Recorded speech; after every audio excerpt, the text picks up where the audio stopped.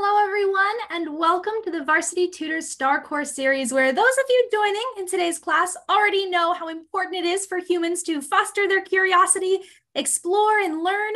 But did you know animals need enrichment to live a happy and healthy life too? Today, we're joined by virtual programs instructor Susan McLaughlin of the South Carolina Aquarium, who's going to be talking to us a little bit about how the team at the aquarium makes sure that their animal residents live a happy and healthy life through engaging animal enrichment. Now, before I hand it off to Susan to get us started, there are just a few things that I want to make sure we keep in mind to make the most of today's live lesson. First off, we'll have the opportunity to both ask and answer some questions throughout the lesson. So by all means, feel free to put those questions and answers in the chat on the right-hand side of your screen. If we don't get to those questions right away, not to worry, we'll have a couple of times throughout the lesson specifically set aside for Q&A. You'll also want to be sure that you have your cameras close by because at a couple of points throughout the lesson, we're also going to get to meet some very special guests today. And we encourage you to lean into the screen and pose for a selfie with those special guests. And if you post that selfie on Instagram and you tag us here at Varsity Tutors, as well as the South Carolina Aquarium, you will be entered to win a one week membership to the virtual summer camp of your choice. And with that, I'm going to go ahead and pass thing, things along to your instructor for today, Susan. Susan, take it away. Hi, everyone. Thank you so much to Varsity Tutors for inviting us to share this exciting topic with you guys. Um, and maybe you've never heard of enrichment before, but I'm really excited to tell you all about it.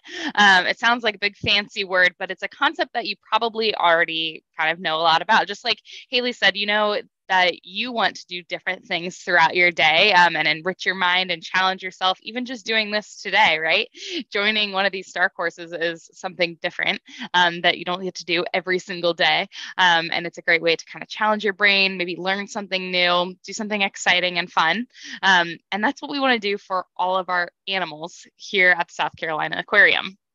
Now, when you think of an aquarium, you might think of fish, and we do have a lot of fish here, um, but we have other animals as well. And today we're going to meet some reptiles. Um, and reptiles need enrichment just as much as any other animal.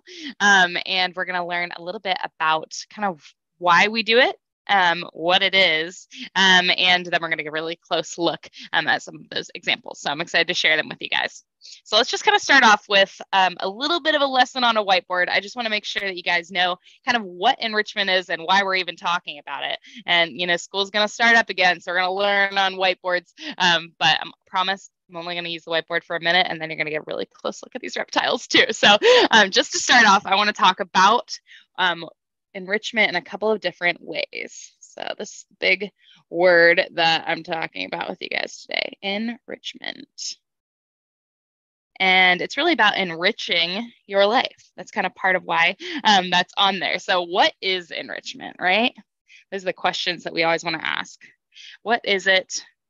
How do we do it? Um, we've got different types of enrichment. And then I want to give you guys examples. These are kind of the questions we're going to answer today. So there's lots of different animals. And I think a good way to think about this too is when you talk about your animals at home. So, um, or yourself. So if you have a pet, maybe think about your pet in this way. Um, or you can think about kind of what you would do for yourself too.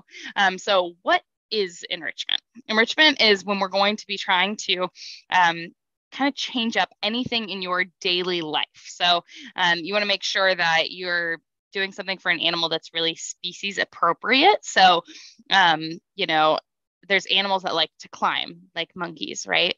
Um, but fish don't climb. So if we gave a climbing toy or tool to a fish, they probably wouldn't get to use it, right? So we want to make sure we're always thinking about what is that animal doing naturally in their environment um, and how can we help them do that in our care here at the aquarium. So we want to make sure that it's all of those things, you know, kind of natural, species appropriate. Um, and the reasons that we want to do it um, are to give that animal a really healthy life. We want them to make sure that um, they are challenged, their brain is working, their bodies are working. Sometimes it's exercise, um, and it helps give them control. So, an animal, even humans, um, we like to be in control of ourselves, right? We want to be able to make choices for ourselves. So, enrichment's a great way for us to give that choice to that animal. Um, and we don't want to just hand something to an animal and say, You're enriched now. We gave you this toy. And if they don't interact with it, then that wasn't enrichment. That was just us putting something with them.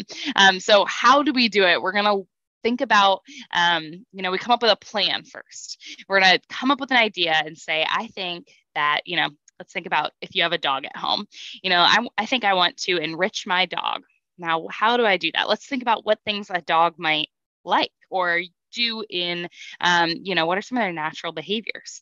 Um, and what comes to mind quickly for me is that dogs love to smell right? They've got a really good sense of smell.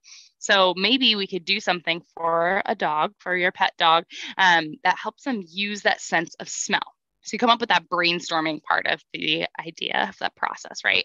Um, and then maybe you go ahead and create something. So um, you could, um, and if you want to do this at home, you definitely um, can try it out, and it's a lot of fun. But you have to make sure um, you talk to your parents first. Always get parents' permission before um, trying out something new with your animals. But one thing I like to do is take like a paper towel roll and put a couple pieces of food inside of it and kind of twist up the ends, and then give that to my dog or toss it on the ground and have him try to investigate. You know, he can smell that there's food in there and he's like, how do I get to that food? So he makes use his brain, right? And he might have to tear it open or shake it around and figure out how to get the food out of it, right? So once that happens, we're going to be observing, um, which makes it enriching for us too, because we're kind of checking out what's going on. We're going to be observing what's going on. Um, and then we are going to be able to uh, kind of regroup on that, kind of think about how it went, and if you would do anything differently next time. Maybe you did it and your dog didn't interact with it at all. And you're like, well, maybe food inside of it wasn't motivating, but maybe if we put a treat inside of it. So it's always kind of retrying new things and thinking about what's going to work best for the animals in your care. Um, so that could be a pet at home, but that we also do with all of our animals here at the aquarium.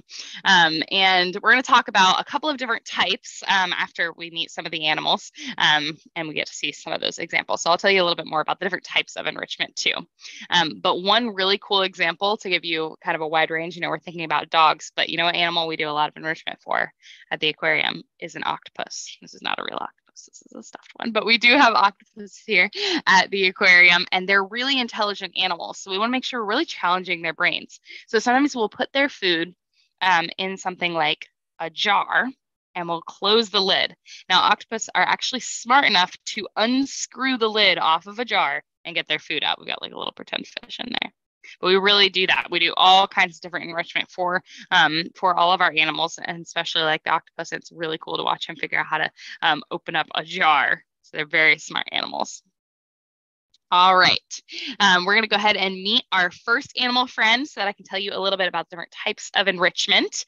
Um, so if you do have a phone or a camera ready to be able to take pictures, um, I definitely want you guys to get a chance to look at this little guy. Um, he's actually kind of a younger animal that we have here at the aquarium.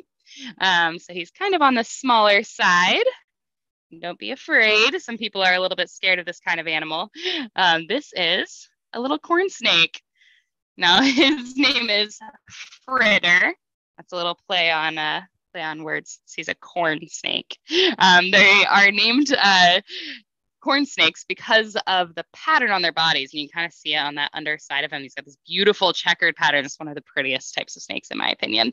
Um, and they are known for um, eating lots of different things that might live in um, in like a a cornfield, but they don't eat corn. So if you thought they were named corn snakes for the food that they ate, um, that's incorrect. They don't eat corn. Um, they actually are going to eat lots of small rodents. Um, they might even eat eggs um, or birds if they can catch them. So they're very smart animals and they're really good climbers. So for enrichment for a snake, um, like fritter here, the corn snake, um, you know, if I'm thinking about what might be enriching to fritter, you know, if he likes to climb, um, maybe we try and give him a tree to climb in. Um, so my gosh, he's like looking at the computer screen. Oh, that's a really close look. I wish he was a little bit more in focus, but that's really funny. So close and tiny. Um, I, we've actually created this pegboard um, of different sticks that he can climb on. So we'll let you guys um, get a really close look at him exploring that. Um, and I'm going to get him all set up, but I'm sure you guys have questions about this corn snake. So um, if you have any questions in the chat, um, we're going to get some of those right now. Um, and then hopefully we can find out a little bit more about Fritter while we watch him explore on his tree here. Awesome. So, as we're getting situated, one of the questions that's come up most frequently so far, uh, perhaps because we have some students at home who maybe, yes, have pets, but specifically have pet reptiles or pet snakes, are there any sort of additional enrichment activities that we can think of that may be safe for them to try at home, of course, with a parent's permission, uh, that are accessible for them to situate for a pet snake specifically?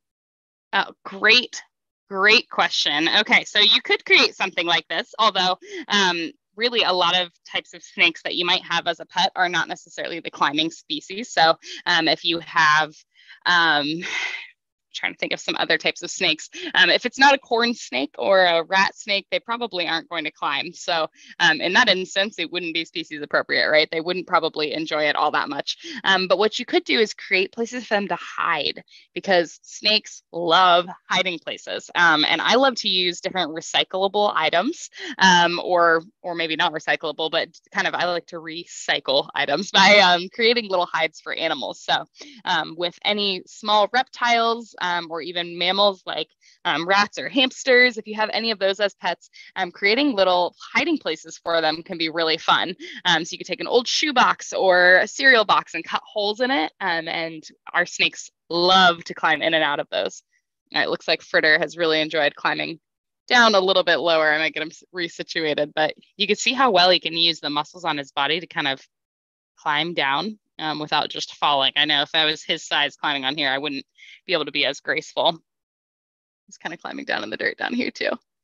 And burying himself in there too. So different types of substrate um, or the materials that you can see here um, are another great example of enrichment. He's so hidden back in here. Nice and dark. Probably a little bit calming. So giving him a space like that, can we see him on this side still? I don't think so.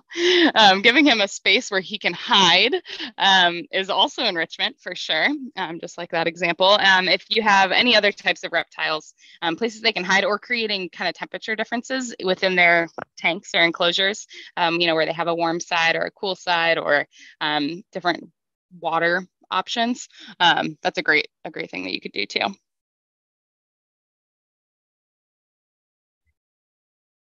Awesome. And if we're ready for another question, another really great one that came up is helping to understand how we can tell when our animals may be in need of some enrichment. So, of course, it sounds like we want to be incorporating these sorts of things on a regular basis, but are there any sorts of cues that can let us know that maybe our animal's feeling a little bit bored and we should think about an enrichment activity? Great example, yeah, um, or great question, uh, especially with um, like mammals and stuff. But it would you could find out with your um, let's start with reptiles. You guys said you had maybe some pet reptiles. Um, if they are what i would call lethargic so if they're not really doing much um, if they're laying around and, and not really exploring very often then that might be a sign that they need some change. Um, they need some enrichment. Um, if you have an animal like a dog um, or a cat that is maybe being what might seem like they're being a little bit naughty, maybe getting into things that they're not supposed to, um, or chewing up, you know, the couch furniture or something like that. That's a really good sign that maybe they need somewhere to direct that energy, right? Maybe they're chewing on the couch because, you know, chewing is a natural behavior and they need something else to chew on. So, um, what might seem like bad behavior might actually just be um, kind of a good sign that you need to do a little bit more for that animal, give them a little bit um, of extra attention and um, a different activity. It's a little bit hard to see back in this corner here. So you can come around the other side. Oh, there we go. Do we have any other questions? Maybe just one more specific to our friend Fritter here and other snake species. Uh, so we ha had some specific questions. I know you gave the example with perhaps pet uh, dogs or pet cats around how we can incorporate food into their enrichment activities. Are there any ways or cases where we incorporate food into the enrichment activities of our reptiles? Good question. So um, with snakes, um, they're not going to eat very often Um, and a lot of them are going to eat small mammals. So things like um, maybe like little mice and stuff like that. Um, so often with our snakes, um, when people have snakes as pets, they're really trying to offer them food um, and just kind of document when they are eating. So since they don't eat very often, I wouldn't probably try to hide the food from the snake because that might be a little bit trickier to um, to be able to check to see if they have eaten it or they might kind of just lose interest in it since they're not super motivated since they don't need to eat very often. Um, if you have an animal like maybe a lizard or um, an amphibian like a frog or something that might eat other small insects, that's a great um, a great way to try to enrich them. So you could give them an animal uh, or a food that might move around more, like a live cricket, um, something like that. You can hide their mealworms um, or other types of worms and things like that into different things. Excuse me. Ooh, was going to sneeze.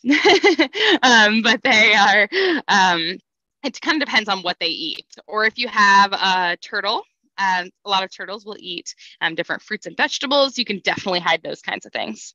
You guys had great questions. So you're already starting to think about different types of enrichment, right? Um, so let me tell you a little bit more about those. So um, obviously we talked about food. Um, there's a lot of different ways we can enrich with food. Um, there's also sensory enrichment. So that's um, different types of things that they can feel on their body. So um, this could also be uh, maybe touch. So things they can feel like this mulch underneath um, the uh, snake's body right now.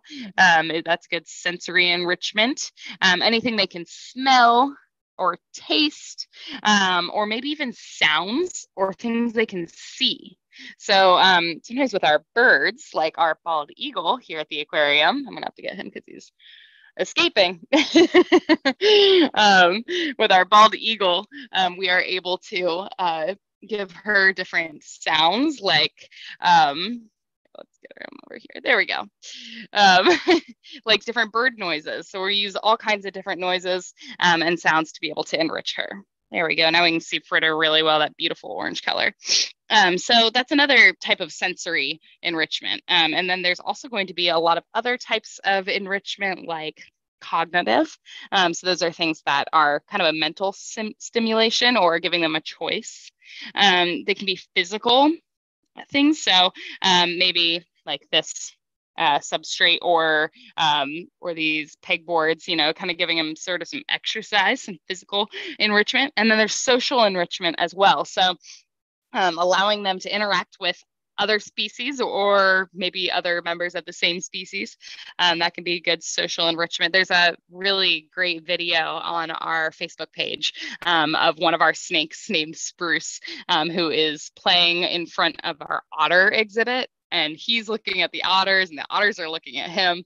Um, and it's pretty funny to see. They're like obviously both or all very interested in each other because they don't see each other that often. So that's good social enrichment as well. All right. Does anybody have any last questions about fritter the corn snake? I'm going to go ahead and get him put away because we've got another friend to meet too so as we're getting that taken care of, one other big question about Fritter specifically is we had some specifics around, do we know how old Fritter is? Do we have any more details there? And how he came to be under your care? Great question. So Fritter actually came from another facility. Um, and so he was born at another, actually at a zoo. Um, I'm going to turn my screen around so I can get him. Um, but he was born at a zoo. So we do know how old he is. He's actually only a little over a year old. So he's still pretty young um, and he's kind of new to being able to work with us here um, at the aquarium. So um, when he first comes from another facility, we want to make sure that he um, has time to be able to adjust. Um, and we're going to make sure that he is also on quarantine. So everyone learned what that word meant a lot more in the last year, but we use that a lot in, uh, in cases with our animals. We want to make sure that they um, don't interact with other animals of the same type um, or any other animals until they pass their quarantine period. So that's making sure that they don't have any diseases that could be passed to another species um, and kind of getting them all settled before we start using them. Let's see. You guys can get one last chance for a little selfie with Fritter very interested in the computer screen. All right, I'm gonna get him put away because we have another animal to meet. Um, and this is where the art part comes in. So um, we talked about this program being animal art and enrichment. Um, so this animal is going to create some artwork for us. Um, and this animal probably doesn't know it's creating any artwork. Um, it's just how it's um, going to be enriched today. So um, I'll explain a little bit more about that. But this little guy is really aptly named for um, a program about animal art.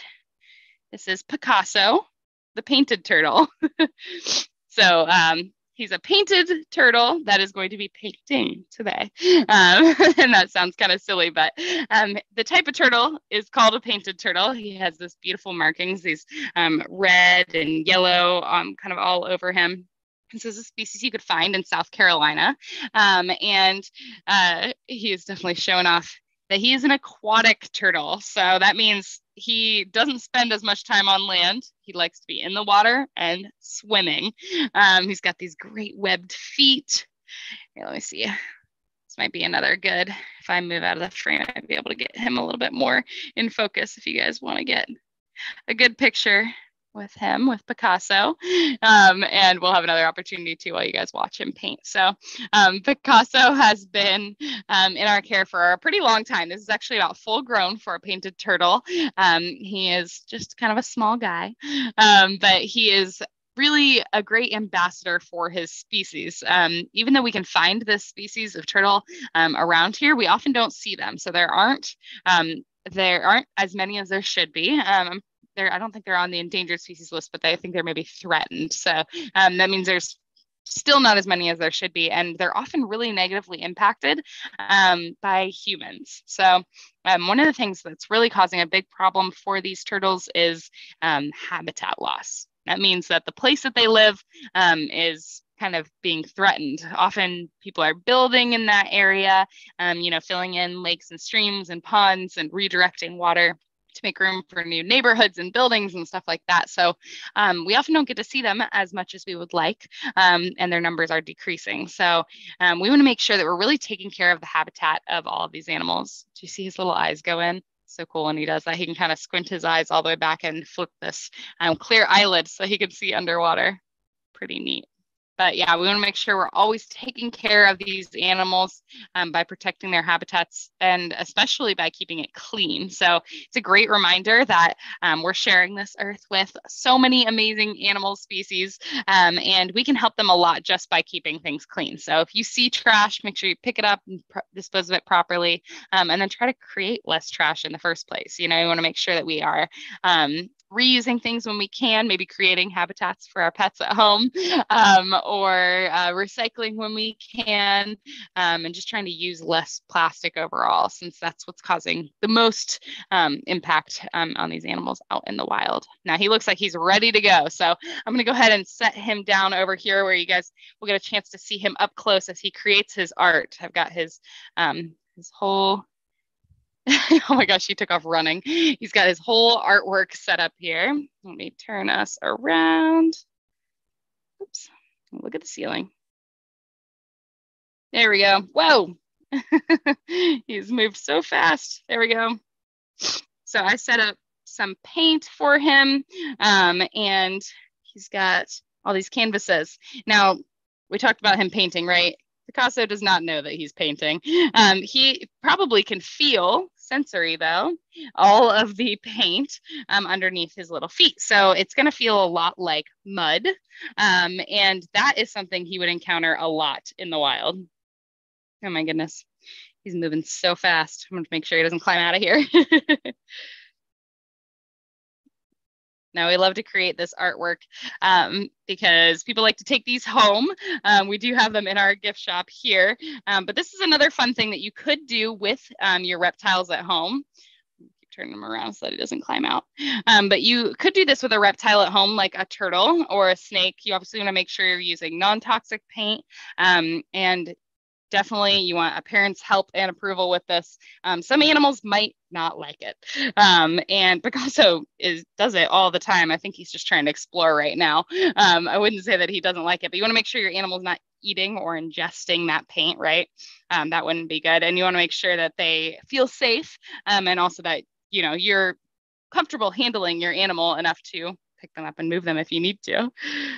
Now, do you guys have questions about Picasso while I chase him around his artwork here? So we had a couple of very specific questions, but one of them uh, relates to how Picasso maneuvers underwater. So is he able to see underwater? Does he close his eyes when he's underwater? How is he able to be on land and in water? Great question. So he does breathe water um, as a turtle. Um, they all are going to breathe water. Uh, sorry, breathe air outside of water. Um, he cannot breathe in the water. Um, so he's going to come out of the water to breathe, come to the surface. Um, but he's going to hold his breath for a really long time when he dives down underwater. And he can see while he's underwater too. So he has this clear eyelid um, that goes across his eye. It's called a nictitating membrane. Um, that clear eyelid does allow him to see while he's underwater like a little pair of goggles, um, which is really important because um, he's going to be finding a lot of his food underwater. He loves to eat fish. Um, he's also going to eat little aquatic worms, um, and he's going to be able to climb out of a pond and sun himself if he wants. You can see how well he can climb right here, right? So he's trying to climb right out of here. He could climb right out of a pond and up onto a nice sunny rock. You guys might have even seen um, in your neighborhood um, some turtles that are sunning themselves. Let me see if I can maybe create another layer for him here so he can't come out all the way. Oh my goodness, he's so tall. he's the strongest little turtle. Do you guys have any other questions about Picasso? So you started to answer the other major question that we got, and that was around Picasso's favorite foods. So perhaps specifically at the aquarium, are there, are there some favorite foods that Picasso and some of his friends might particularly enjoy? Great question. Yes. Yeah, so we want to give them a wide variety of food. Remember, we want to always be changing things up for these animals, right? That's enrichment. So lots of different types of things. Um, but his favorite is what's called lake smelt, um, which is a small type of fish. Um, we're often going to cut it up into really little pieces too, because it's probably bigger than what he would be eating in the wild. So we cut it into little pieces. Um, we like to toss that in the water for him, um, and then he has to kind of go fish it out.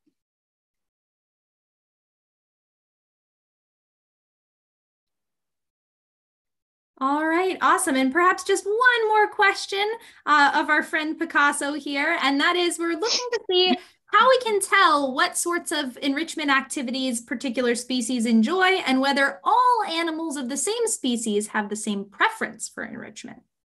Great questions. Um, you guys are really thinking about these animals kind of specifically, right? And that's very important. So um, they might have things that are really common for the species as a whole. Let's see if you can see them real close as I turn my screen around. Um, there might be things that like most turtles generally like this one thing. Um, but they're individuals too, right? You know, we're all humans, but we like different things than our friends and our brothers and our sisters, right? We don't all like the exact same thing. So it's really important um, to make sure that we are giving um, these animals lots of different options and figuring out what might work really well for them. So, um, when you're trying to design an enrichment program for an animal, you want to make sure that you're thinking about um, what would happen naturally for that animal in the wild um, or kind of what uses their natural abilities. Um, but then you also want to make sure that you're observing, like I said, you know, we don't want to just take um, take this animal and say, I enriched it. We we gave it this thing and now it is enriched. um, you want to be observing and changing. Um, you know, it's it's kind of a whole scientific process, right? It's kind of like an experiment. You're gonna look at what's happening, figure out what works really well, what didn't work so well, um, and try to make some of those changes. I'm gonna get a little towel over here, but this might be your best opportunity um, to get a really good picture of Picasso, a good um, a good selfie with him because he looks like he's been painting. He obviously has been. He's got kind of covered in paint. So it does feel like mud um, to Picasso. So um, that's good enrichment. If he had been in um, the wild, he probably would uh, have been walking through all kinds of different textures. Um, and the paint kind of models that for him. Now, normally I would let him walk longer, but um, he was kind of giving me those signals that he was done in there, right? He was trying to climb out. Um, and I don't think it was necessarily that he didn't want to paint, um, not that he didn't like painting, um, but probably just that he um, didn't really want to be in there anymore. He was moving, he had places he'd rather go. So he looks a lot more satisfied just kind of being held up here where he can look at stuff. So, um, you know, watching your animal and observing what they need is a great way to kind of keep doing enrichment the right way, you know, making sure that we are thinking about those kinds of things and doing what works really well for them. I don't know if you guys have any other questions about enrichment, um, but I can give you some more examples from some of the other species we have here too, and when we're done with a couple more questions about Picasso. Awesome. So perhaps a little bit more general of a question, but we have lots of students who were either maybe a little concerned, perhaps initially a little frightened, or just concerned to make sure that our animal friends are being safely interacted with as well, who wanted to know how what sort of steps you take to make sure that you are interacting with animals like Fritter and Picasso in a way that's both safe to you and safe to them. Definitely. So these are wild animals, and we want to make sure we're being extra respectful of them, right? And these aren't wild animals that we just took out of the wild today, right? Picasso here and Fritter, they've been at the aquarium for a while and we've been working with them. They've been handling them, getting them used to us and us used to them. So um, I would never go walk up to a wild animal and pick it up. You know, you want to make sure you always leave wild animals where they are, observe them from a nice, respectful distance. Um, you know, I like to suggest get a good pair of binoculars or any pair of binoculars. Um, it's a great way to look at wildlife and um, kind of give them that safe space that they really need. Um, and then you kind of get to see them do more of their natural behaviors too, because um, you're going to be leaving them in their natural environment. So you always want to give them a lot of space. Um, and not pick them up, but also don't feed wild animals.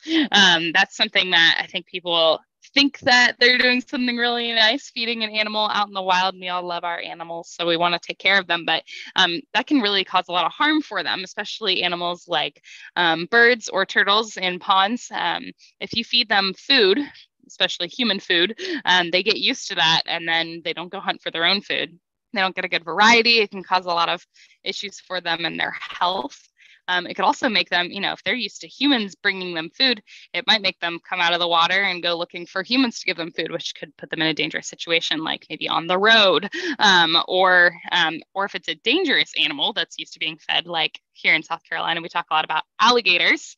Um, we never want to feed wild alligators because then they might go try to find another human that could bring them food, which would be really scary if an alligator was like, hey, do you have any food for me? And was coming up towards you. You don't want that to happen. So we never want to feed wild animals or touch wild animals, just observe them from a safe distance. Um, but if you have an animal at home um, that you are working with, you know, that's your pet, um, I would just kind of work on it slowly, you know, pay attention to kind of their their cues. If they look uncomfortable, put them down. Um, you know, Picasso there was looking like he was tired of being in there, so I picked him up for a little while. When he got squirmy in my hand here, I put him down in his bin so he could relax. So um, I never want to be kind of forcing an animal to do something they don't want to do. You want to be always paying really close attention to what works well for them.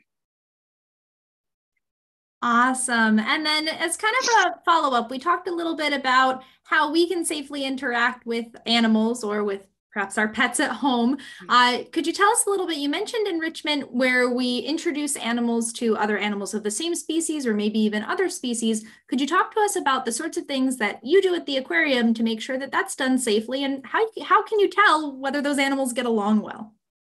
Yeah, that's a great question. So, um, you know, let's take those otters for an example because I talked about that video. Um, we recently got some new baby otters in, um, and we had adult older otters at the time. Now, those are the same species, so you would think otters are going to get along, right? Um, but they don't know each other. They've never met. So we want to make sure we do a really slow introduction. So we've got animal experts, these biologists that are, um, you know, really good at these introductions. They're going to do it really slowly. And they often start by just having them maybe interact in a similar area, but very separate, where they can't see each other, but maybe they can hear and smell. So they can hear and smell each other, and they're like, I think there's another otter over there.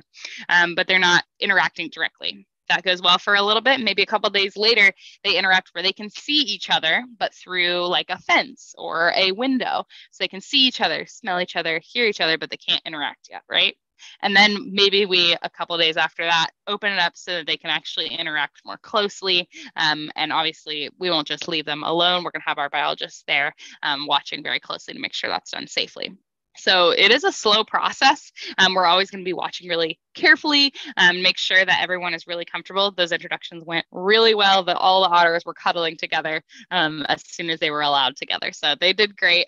Um, but then I talked about the animal or the enrichment that we did where our snakes met our otters, right? that was through the glass. we, we didn't have them closely together because an otter might eat a snake in the wild. Um, now, our otters here, maybe they were interested in eating him. Maybe that's what they were looking at him for. Um, our snake didn't look very scared. He apparently did not think that otter was going to eat him. He was like, they were looking right at each other. Um, but we had them through this big, it's really acrylic um, window. Um, and so they, there was no chance of any bad interaction. So obviously we want to make sure we're thinking about all of these things. When you're working with any animal, whether it's your pet um, or you know an animal in the aquarium, we have to consider all of those options and make sure we're being really respectful and taking care of the animals. Awesome. And kind of a follow up to that, we had some students who were wondering, you know, as people, maybe we like to engage in these enrichment activities with our friends. So maybe we might, you know, watch a movie with friends or play a game with friends. Do animals tend to like to enjoy to, or tend to enjoy going through those enrichment activities together? And do they make friends? Another awesome question that I love to talk about because um, it's another good example of you know what's enriching for one animal might not be for another, um, and we hear that a lot with our sea turtles here. So we have sea turtles in a hospital, um, and so we have this whole hospital where we're caring for them, and they are all by themselves. They're in their own tank by themselves. Um, and sometimes people are really worried and they're like, that turtle looks so lonely. And if I was in the hospital, I would want my friends and my family around. Um, and that's true for humans, right? You want to be around other humans. We're very social animals. Sea turtles are not. They are very solitary animals. So you might see them in the same area during certain times of year if they're feeding um, or maybe laying their eggs on nests up on the beaches. Um, but in the wild, generally, they do not hang out with other turtles. They like to be on their own. They don't form groups, they're not social. Um, so putting them in the same place here would be really stressful. If we put two in the same tank, they probably wouldn't like that at all. They would be very, you know, territorial. They want their own space. They don't want to interact with another animal. So you know you have to think about those things. Even though that sounds comforting for us to be around another human it's not the same for a sea turtle. So um, you know when we work on any of these enrichment projects, we're not just kind of coming up with these ideas too. We have to do research first. So um, even if you're thinking of doing something with one of your pets at home, you know, if you have a bearded dragon, maybe, um, you know, one of the best things you could do to kind of start that whole process is maybe go to the library and check out some books on bearded dragons and find out kind of, um, you know, what do these animals do um, in the wild or what are sort of their natural behaviors and kind of work from there you know thinking about what they would naturally be doing um, and kind of what their natural environment would be before we start to kind of pick other things for them Awesome. And I know we mentioned a little bit about the bald eagle earlier, and we have some, some, students at home who are curious about bird specific enrichment. So, are there any other favorite examples that you have of enrichment that you interact with at the aquarium or that students could interact with at home with a pet bird? Great question. Um, yes, there are lots of different things of enrichment depending on the type of bird because birds have a really wide range of things that they like to do and habitats they like to live in. Um, so for our bald eagle, one of her favorite enrichments um, is tearing things up. So we love to make almost like paper mache. Um, we'll take like newspaper and hide her food inside of it, um, or even give her like bones, like a dog bone. You know, I mean not a bone from a dog, but a dog that a bone that a dog would eat. Um, so it's kind of similar because bald eagles in the wild love to eat um, carrion or food that is maybe already passed away. So an animal that they find out in the wild, they're going to eat kind of like vultures. Um, so they're going to be kind of using that same natural behavior. Our bald eagle here, she loves to tear stuff up just like she would be eating her food out in the wild. Um, but that would be very different from like a shorebird. So um, maybe one of our ibis. Ibis are shorebirds. They've got this really long curved beak um, that they like to use to get down into mud holes to eat crabs. So we love to hide their food down into these deep tubes um, that allow them to use that natural ability. If you have pet birds at home, um, usually pet birds are um, different like parrot and parakeet species. Those are really smart birds and they are a good example of if you have an animal at home that's kind of misbehaving or getting into a lot of stuff, um, it could be because they need more activity because those birds need a ton of attention and tons of enrichment to keep them happy. Um, so you definitely can find stuff online, lots of suggestions for enrichment for pet birds because they need a lot of stuff, but they love to tear things up, look for food. Um, it depends on the species again, but um, you could certainly do some research at the library or online to find some good activities for them too.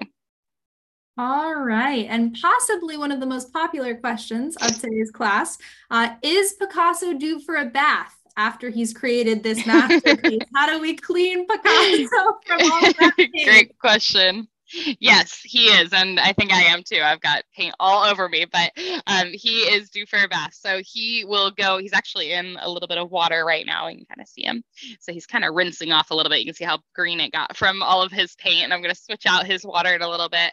Um, it is non-toxic paint. So um, he's totally fine to be, um, have a little bit of it on him, but um, some of our turtles actually really like um, kind of this bath. So a little bit of running water on them, almost like if they were in a stream or a pool like that, um, which they could find in the water um, or in the wild. Uh, some of them really respond well to that. Picasso is one of them. He kind of stretches out his legs and his neck um, and looks really comfortable. Um, that's a good signal to me that he's enjoying something. So to kind of knowing what an animal looks like when they feel comfortable versus feel scared. You know, if a turtle's scared, they're going to tuck their hands and feet and head in really tight. But if he's relaxed, he's going to kind of stick all those limbs out. So when you put him under running water, he looks really comfortable. So that's a good signal to me that he likes it. So he'll get a little bath after this. all right. And we have lots and lots of students who uh, think it's pretty cool that you get to interact with these animals on a regular basis and are wondering what sorts of things you studied or others at the aquarium might have studied that prepared them for a role working with animals. Great question. Um, so, if any of you are animal lovers out there, I know that you probably all are. Um, and if you maybe want a career in this sort of job, there's a lot of different things you can do. So, my personal story of kind of how I got to where I am, um, I started volunteering when I was really young at animal shelters and vet offices. Um, and that's some of my best advice. So, animal shelters and vet offices, that's mostly cats and dogs, um, but it's still great experience. You know, you're learning about animals and how to care for them. Um, and like I've talked about all day today, you know, um, there's a lot of similarities in how you care for domestic animals versus wild animals. So, that's a great place to start. Um, and even if you're young, sometimes you can volunteer at those places with a parent um, or adult. So that's a good place to start. Um, and then I studied really hard in high school, learned lots of science, and moved on to college where I got a degree in zoology, um, which is like biology but focused specifically on animals. Um, and then I worked in a zoo for a long time as a zookeeper, um, and then moved into education here at the aquarium. Um, so I don't directly care for these animals and prepare their food and stuff like that, but I work with the people who do. Um, and now I get to do kind of the virtual programs like this where I'm talking to kids like you about these amazing animals animals. So um, I like all versions of it. There's a lot of different careers um, that have to do with caring for animals, whether it's you know science and research, maybe it's working in a zoo or an aquarium, um, or maybe it's veterinary care. You know, there's a really wide range. But I would say the best thing you can do is keep learning. Like I suggested earlier, go to your library, check out books on the animals that interest you. Um, that's a great place to start. Um, and then volunteering with any place that will let you work with animals, maybe on a farm or a shelter or um, or a of that office. Awesome. And then perhaps for our final question of the day, because it is getting to be about that time, we talked a lot about how humans use enrichment to better their lives and about how animals use enrichment to better their lives. Are there any cases where our students with pets at home can engage in enrichment activities that help both the humans and the animals involved together? Oh, great question, Haley. um, definitely. Uh, so I like to think personally that I am enriched when I'm enriching my animals, right? So watching my dog figure out a puzzle or something, it's really entertaining for me. Um, and it's not something I do every single day. So that's a great way to do it. Um, but it, I mean, it totally depends on your animal, kind of what you're planning and what you're doing, but interacting with them um, or even interacting with a brother or sister, you know, playing with people in your house, that's enrichment for you too. So um, even if you don't have a pet at home, trying something new, a new game um, or a new art project or reading a book together, Um, you know, maybe think of something you haven't done in a while. If you're like, man, I haven't gotten out my colored pencils and drawn a picture in a while, maybe I'm going to go get that out after this and do something different. Or I haven't read a book in a while, I'm going to go get a book and read. Um, or I'm going to run a lap around the house. You know, maybe you need that physical um, activity as your enrichment today, or maybe you need to stimulate your brain. You know, think about what maybe you need today um, or uh, tomorrow morning or whatever. You know, think up something different and try to enrich yourselves today. And I hope you guys were really enriched today by joining us for this StarCourse um, because it's something different for me to do. I don't get to do these every single day too. So I definitely feel enriched as well. Wonderful. And uh, we definitely have lots of students who are very excited to maybe do a little more research to figure out the best possible enrichment activities for their pet cats and dogs and snakes and chickens and bearded dragons and all sorts of different animals who uh, maybe had the opportunity to uh, guest listen in on today's lesson as well. So thank you once again to Susan and to the entire team at the South Carolina Aquarium. We do hope to see those selfies with Fritter and Picasso, so don't forget to tag us. And in the meantime, we hope to see you in another Varsity Tutor StarCourse soon. Thanks, everybody. Thanks.